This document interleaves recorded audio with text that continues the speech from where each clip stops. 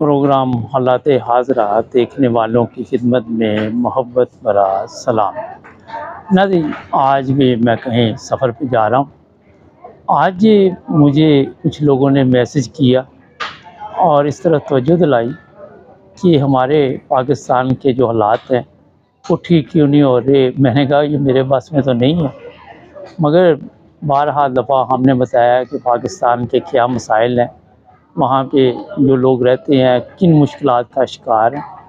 और जब इस पर रिसर्च की गई तो पता चला कि ये जो कुछ भी हो रहा है, लोग इसे चीफ ऑफ़ आर्मी स्टाफ का जो भी मसला है, वो बताया जा रहा है। कहते हैं कि चीफ ऑफ़ आर्मी स्टाफ की वजह से पाकिस्तान के मौजूदा हालात और जो कमर जवेद बाजवा के दौर में थे वो भी आप सबके इलम में, वो ठीक नहीं हो अब अगर देखा जाए तो यहाँ पे मसाइल जो आपको नज़र आते हैं, वो सबसे ज़्यादा हैं कि ह्यूमन राइट्स क्योंकि इंसानी हकूक़ का ख्याल नहीं वहाँ रखा जा रहा, जिसकी वजह से जो कुछ भी हो रहा है, वो सारा मलबा जो है, हमारे चीफ ऑफ़ आर्मी स्टाफ पे पड़ रहा है। अब बेशुमार लोग सोशल मीडिया पे इस तरह तोज्जो भी दे रहे हैं। हमने तो हमेशा अपने चीफ ऑफ़ आर्मी स्टाफ का एहतराम किया और उसको समझाने की कोशिश की कि जनाब, आप गलत जा रहे हैं। क्या वजह है? कुछ लोग कहते हैं कि हमारे जो चीफ ऑफ़ आर्मी स्टाफ है, वो इस से कमतरी का शिकार है, जिसकी वजह से वो कोई फ़ैसला नहीं कर पा रहे। अब इसमें कई लोगों का ये कहना है कि, क्योंकि चीफ ऑफ़ आर्मी स्टाफ जो हैं वो एक ऐसे घराने से तल्लक रखते हैं जो कोई अच्छे दिन नहीं गुजार सका और इनको एक बड़ी जगह पे बिठा दिया गया, जिसकी वजह से पाकिस्तान का नुकसान हो रहा है, इनके पास तजर्बा भी नहीं है।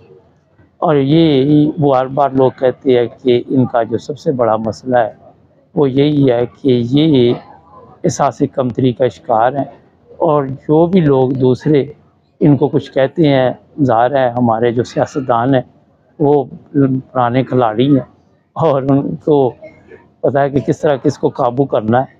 ये अलहदा बात है कि इमरान खान अभी तक उनके काबू में नहीं आ रहा।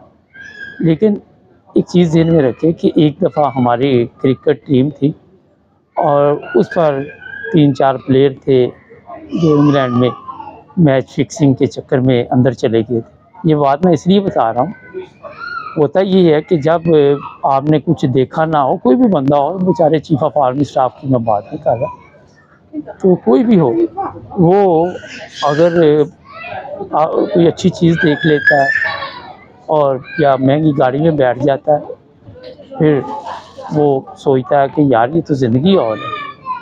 अगर नोट देख लेता है, पैसा देखता है, दौलत देखता है, उसके बाद उसको होश आता है कि जनाब, ये तो दुनिया ही और है। वो फिर ये नहीं देखता कि ये अच्छा क्या है, बुरा क्या है। हमारे प्लेयरों को भी इस तरह उस वक्त इस्तेमाल किया गया।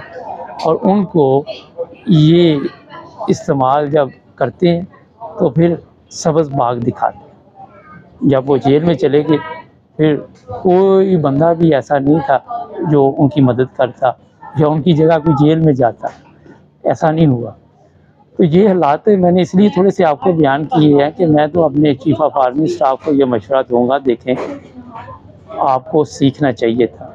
अगर कमर जवेद बाजवा ने गलत किया, फिर उसकी जिस तरह लोगों ने बेजती की, फ्रांस में जो हुआ, या लोग जिस तरह सोशल मीडिया पे उनको गालियाँ निकालते, उसको आपको कुछ ना कुछ वहाँ से सबक हासिल करना चाहिए था। वो भी आके झूठे ख्वाब दिखाते थे।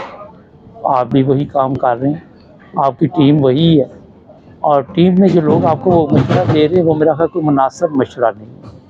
उनको अच्छे तरीके के साथ कोई मशवरा देना चाहिए, मगर उनके पास जब हो गई नहीं, एक बंदा है मसलन ये जो आपने सियासतदान सामने रखे हुए हैं, जब भी इनके मुँह खुलते हैं, वहाँ से गटर की बदबू आएगी, वो जब भी तकरीर करेंगे, जो कुछ भी कहेंगे, वो झूठ होता है। कोई लोग भी उसकी बात की भी मानने के लिए तैयार नहीं होते लोग कहते हैं, ये बकवास कर रहे हैं। मरियम औरंगज़ेब है, लोग उसकी शक्ल देखना पसंद नहीं करते, टीवी चैनल बदल देते हैं। मैं भी कई दफ़ा यही होता है, बड़ी मुश्किल से कभी कोई बात उसकी सुनूँ। तो मैं यही आपको कहना चाहता हूँ कि आज आपको ये पता चल चुका है, सोशल मीडिया पे ये नहीं कि आप नहीं हैं। हर बंदा आजकल सोशल मीडिया इस्तेमाल करता है। हर बंदा को आठ घंटे दस घंटे बाद तो ऑफ़िस में नहीं बैठा रहता, वो घर जाता, बीवी बच्चों में थोड़ा बहुत टाइम गुजार के फिर देखता है कि दुनिया में क्या चल रहा है, दुनिया क्या कह रही है। यहाँ से मेरा ख्याल है कि सीखना चाहिए। ये आपके लिए एक ऐसा मशवरा है कि अगर आपने सोशल मीडिया का अकाउंट नहीं बनाया हुआ तो आप टिकटॉक का इसलिए बना लें। वहाँ पे ही आपको पता चल जाएगा कि लोग कितनी नफ़रत का इजहार कर रहे हैं, आपसे भी और आपकी जो टीम है, उससे खुश नहीं। है आपके बयान उल्ट सी, उल्टे होते हैं, कभी सीधा बयान तो मैंने सुना नहीं। कभी आप ज़रात की बात करते हैं, कभी आप कोई बात करते हैं, जो आपकी असल ड्यूटी है, उसकी बात आप नहीं करते। सियासत की बात करते आपके D G S P I R आके बताते हैं डॉलर का रेट क्या है, और मुख्तलिफ़ चीज़ें वो पेश करते हैं। उनका इस चीज़ से कोई तल्लक नहीं है, अगर आप समझे तो।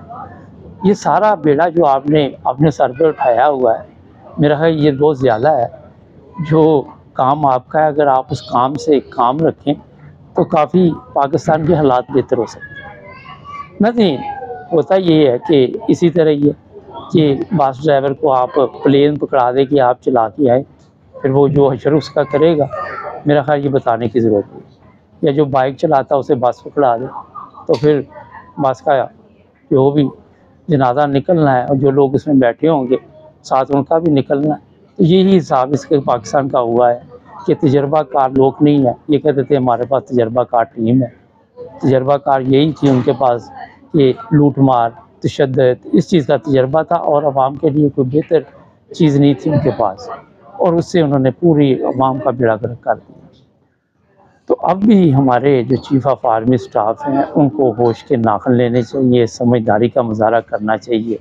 इन लोगों में के हाथों में जो जिनके आप खेल रहे हैं, मैंने कई दफ़ा कहा, ये इस्तेमाल करते हैं आपको। इस्तेमाल करने के बाद जब आपकी ज़रूरत नहीं रहती, फिर आप देख लें किस तरह के बयान इनके होते तो आपने तीन साल रहना, या दस साल रहना, ये सवाल नहीं है। ये एग्रीमेंट जो है आप करके आते हैं कि शायद हमें तीन साल के लिए और मौज मस्ती का मिल जाए, मगर अब वो मौज मस्ती कम है। लोग नाराज़गी का इजहार ज़्यादा करते हैं। भाई बड़े प्यार से आपको समझा रहा हूँ, मैं एयरपोर्ट पर मौजूद हूँ तो मैंने कहा, शोर शराबे का फ़ायदा नहीं, लोग डिस्टर्ब होते हैं। लेकिन मैं प्रोग्राम क्योंकि हमारे उसमें कोई फ़र्क नहीं आता और हम प्रोग्राम अपने करते रहते हैं।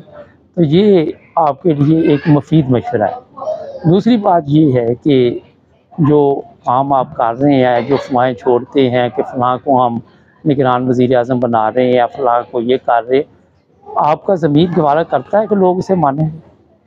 आप ये खुद अपने आप से पूछे कि आपको पता हो कि एक बंदा चोर है।